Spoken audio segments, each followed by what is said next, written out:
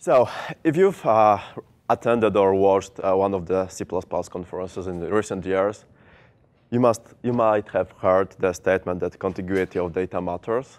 So that's what I will base my talk on. Uh, if you haven't seen it before, a few quotes from the C++ luminaries. Uh, spoiler alert, Scott Meyers, uh, locality counts, predictable access pattern count. Herb Sutter uh, in his uh, modern C++ talk, access uh, patterns matter, linear is better. And finally, Bjarne uh, in C++ 11 style uh, had his famous vector versus list benchmark when he showed that uh, array or a vector is often faster than a list. Of course, don't take any of the statement at the face value.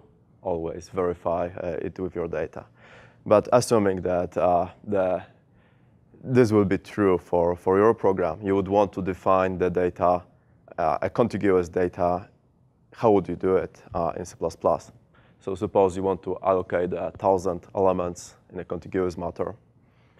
You could do it old school way uh, in plain old C array. You could use std array. You could use std vector. Uh, you could theoretically use std deque, which is mostly contiguous, although it has really a chunk of contiguous data, so it will be really not good for what we'll be talking about today. Sorry about that.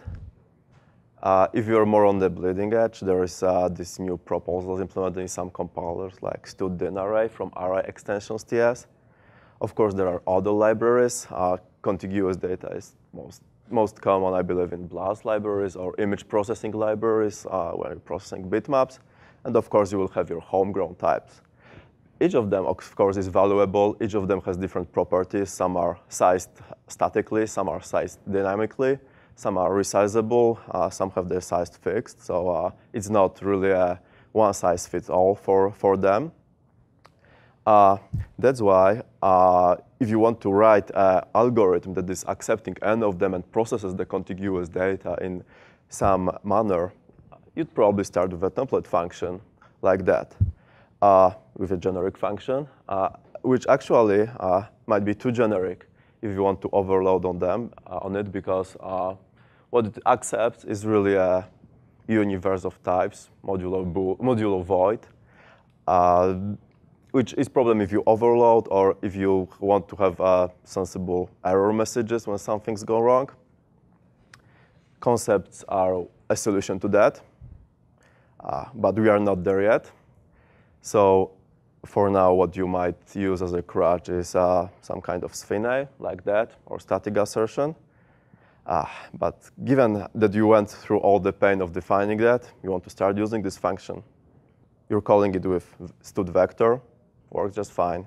Std array works just fine, assuming we are using dot size for getting the size of the thing and bracket operators for accessing single elements. Then you try to pass the old school array, not so good anymore. So as an alternative, we can try the C way of things, uh, where we accept the raw pointer and its size, where of course we can pass a vector uh, it's C, so of course we can pass a C array. We even uh, get to use a macro. Uh, then you can uh, generalize your algorithm to more dimensions, so you add uh, more function uh, parameters. for two-dimensional, you have width and height. For three-dimensional, you add depth, and so on. All the alternative in C++, what we're proposing, is an interface based on array view where you would specify the interface uh, as here. So basically, this would be a compute function that's taking an array view of a given type. And how would you, how would you call it? Uh, so given that you have data as a std vector, you can create an array view over this vector. So this is the array view which refers to the data in this vector. And you call the function with it. If the extra line is too much, uh, then there is a, the constructor is uh, implicit, so you can just call the compute function with the passing the uh, vector as a parameter, which will create the array view behind the covers. This will work equally well for the C array, for std array, or for any of the, of the types I've uh, described in the beginning. So it really generalizes the way you're uh, accepting contiguous data in the algorithm. So this whole view thing might sound familiar with you uh, because there was one other proposal uh, that went through standardization recently, which is the string view.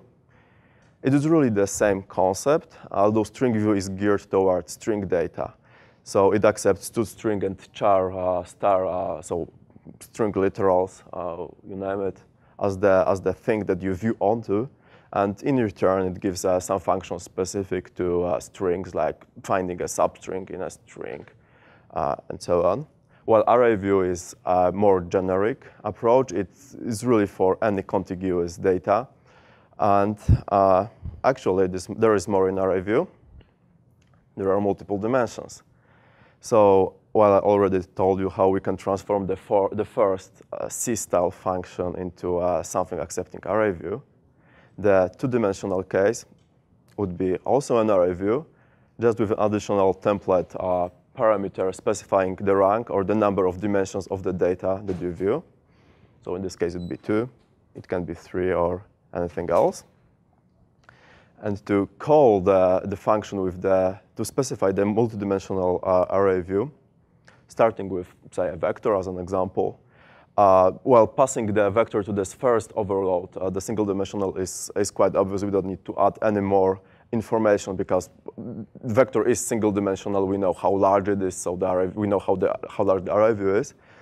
Uh, but if we want to view in a two-dimensional manner, uh, we need to specify the, the size of the thing uh, in the logical view, uh, logical multidimensional view.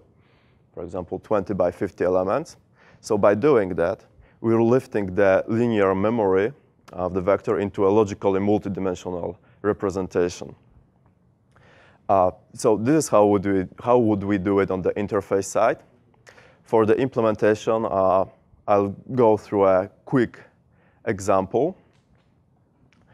So uh, we'll run a simple edge detection algorithm, or rather uh, uh, uh, edge detection algorithm that fits on a slide. It's not really an edge detection algorithm.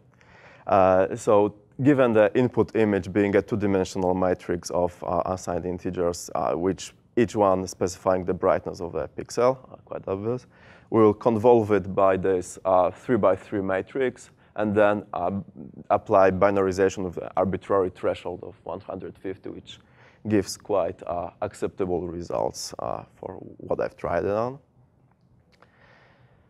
So this would this how it would like uh, in the C-style algorithm. Um, there are two problems I with it. So first, we have two nested for loops to iterate over the image. And uh, I know it might be not obvious that it's, it's, a problem, but really there is a single image which just happens to, to be a two-dimensional space. So there's really no implicit reason for it to view it as, a, as, as two separate things. We really want to iterate over this single entity which is a two-dimensional image. So we have these unnecessary nested loops. And of course, we have the error-prone uh, address calculation.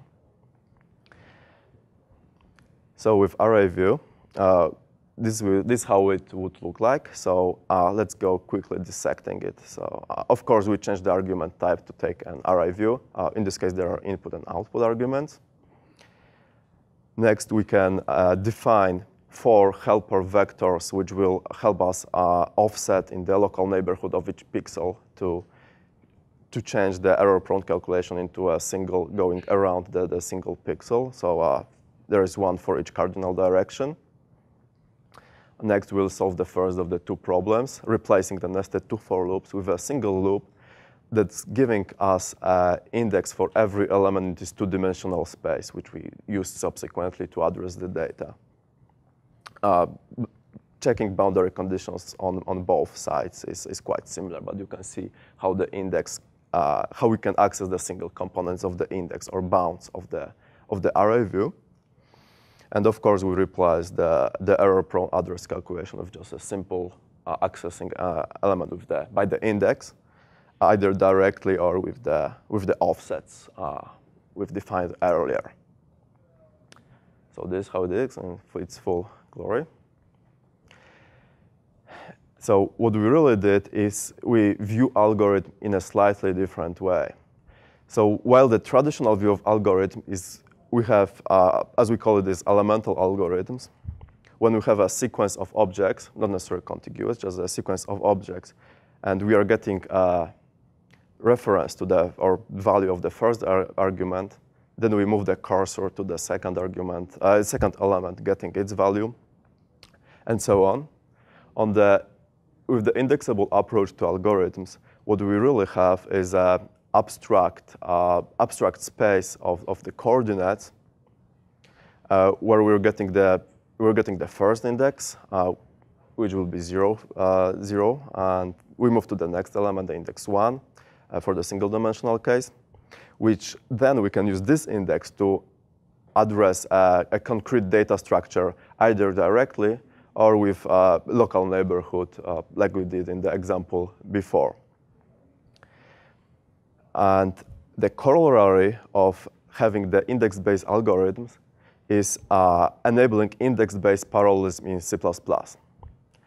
So while the index-based algorithm with the regular STL uh, just gives us the single index for each element in the space, when we add the uh, C++ extensions for parallelism technical specification, or how we call it, parallel STL, uh, to the mix, we get to specify an additional argument to the, to the algorithm, uh, which will ask for execution in parallel. And with the rest remaining unchanged, what we really get is a mapping between every index and an execution uh, agent, which might be a thread or a vector lane, which uh, we allow to execute in parallel. This is a very similar model to what you have might seen in C++ AMP, which uh, there's a striking similarity uh, if you look at it. But it's also in CUDA with a, strikely, with a slightly more obtrusive syntax, or in uh, OpenCL, uh, greatly simplified for the slide, but all the elements are still there uh, if you want to find them. The other thing I want to tell you about ArrayView, it, it has a pointer semantics. So uh, to explain what does mean, I'll go by an example. So if you define a vector with uh, 9001 elements, and you create a copy of the vector, you're also copying over 9000 elements. Uh, on the other hand, pointer uh, might refer to a single to a to a range in memory that is allocated, or uh, more commonly, uh, there are no only pointers; you just point to the to the to the thing. So copying a pointer is almost free operation. Array view is in this manner similar to, to the pointer. Uh, so creating an array view refers to the, to the vector that is uh, allocated somewhere. So the array view is really a lightweight object. Uh, so we can freely create copies of them. That's why in the functions that I've shown on previous slide, we're always passing it by value. Um, of course, it has a, a, a, there is one caveat here that if the vector uh, goes away, the array views are left out uh, dangling, pointing to a void space. So some care, some care must be must be taken similarly like with, with pointers, but I believe this is the only caveat uh, there. The second aspect of pointer semantics is the constness, which like in pointers can be applied in uh, two places. We can have a constant view, uh, we specify the const uh, either before or after uh, the type depending on the test. Uh, but this is equivalent to pointer defined uh, like this, which means we can modify the data the pointer points to, but we cannot modify the pointer itself. Uh, the second side is view over the constant data, where we, for array view, we put the const specifier uh, inside the template argument list.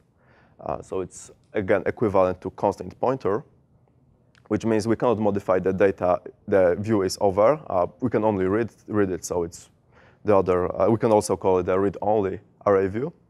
Uh, but we can modify the, the view itself, say assign it to another view. of course, volatile uh, gets similar treatment, but I won't go uh, in details through that. And you can have constants in both places, so it can be a constant view over constant data. Other operations uh, I'll cover briefly for array view is uh, slicing and sectioning the array view. So if we'll have uh, a real small array view that's five by five elements, uh, getting a slice from it, which we do by taking the subscript operator, we return the array view to a, we return a view over the single slice of data, so uh, shaving off the uh, highest dimension and uh, returning the array view with rank less by one uh, than the original. Uh, section, on the other hand, is an algorithm where we uh, is an operation which gives us another view that refers to uh, to the same uh, the, to the view of the same rank, uh, but possibly smaller. you might notice that this view is no longer contiguous, so it's so it cannot be array view which assumes contiguity. It's another type we're we're introducing called strided array view which is mostly uh, similar to the array view. It's just instead of guaranteeing contiguity, it guarantees uh, uniform uh, strides between the elements in, in, dimensions. So all in all, there are uh, four types that uh, there are five types that we are introducing. Bounds and index are the types used for defining the multidimensional bounds and indexing within them. There is a reason for them to be a separate types. Uh, uh, there is there is more explanation for that in the in the paper I will refer to. I don't want to spend too much time on it because these are details. Uh, these are the array view and strided array view. And finally, there is a bounds iterator, which we haven't seen explicitly on the prior slide, but it's the thing that powers the algorithms and letting us to get index for every uh, every element in the space defined by bounds. So it's mostly uh, behind the scenes things. We're moving the array view towards the standardization. We first introduced it in the paper uh, 3851, uh, which if you want is, uh, if you want to read more, I would refer you to this paper, which we, which, where we gave uh, most of the background why uh, and discussion about design decisions. We presented this to Library Evolution Working Group at the Issaquah meeting, uh, just a few miles from here, in February. Uh, the committee answer was a consensus to prepare the word, to take the paper forward to prepare the wording for Arrays technical specification, which we did. And we presented it in a Rapperswil meeting uh, in Switzerland in June. Uh, the committee, uh, again, the library evolution uh, working group, again, um, requested some fixes and improvements to the paper, and, but it was with a consensus to move it forward. Uh, however, the target changes now. It's fundamentals version 2, technical specification. So right now we are at the stage where the paper with the bug fixes uh, is ready. It's going to be presented to library working group, so we've moved one stage further in the process, which will be presented in November to, at Urbana-Champaign meeting. And uh, we're hoping it will be accepted to fundamentals VS, uh, to fundamentals uh, TS. We view the paper as we proposed as a foundational layer.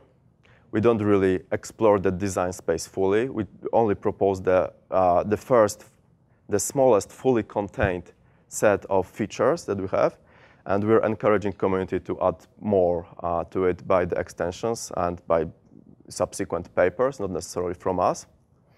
I want to highlight uh, three such proposals, three ideas of how we, how we can add more to it. Uh, there is, as far as I know, there is no proposal on them yet. Uh, these are just ideas that were uh, floated either on ISO, C++ org forums or uh, in email communication, but uh, I like them. So there is an idea of having an array view with fixed size. So it would be a two-array view like uh, stud array is to stud vector, same analogy.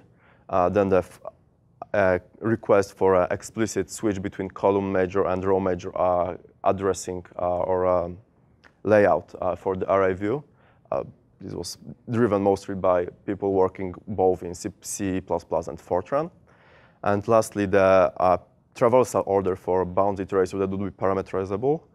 Uh, the right now the traversal order is a, is a row major, so we go uh, row by row, similar like you would iterate over two-dimensional or multi-dimensional data in uh, C++.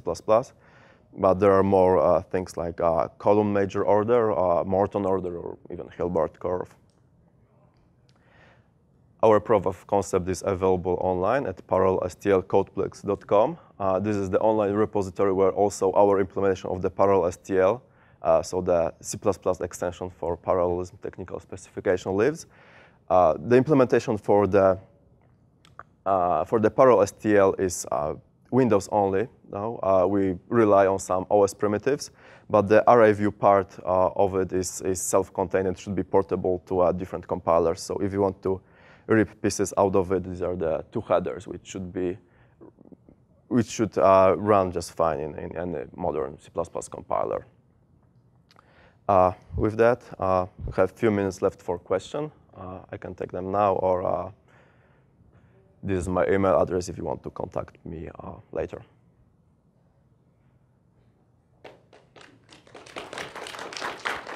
Thank you. Please go ahead.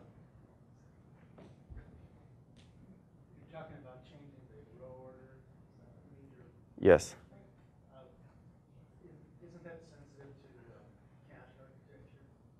It is. So one of the reasons for changing the uh, cardinality order between these two is uh, one is really friendly for accessing.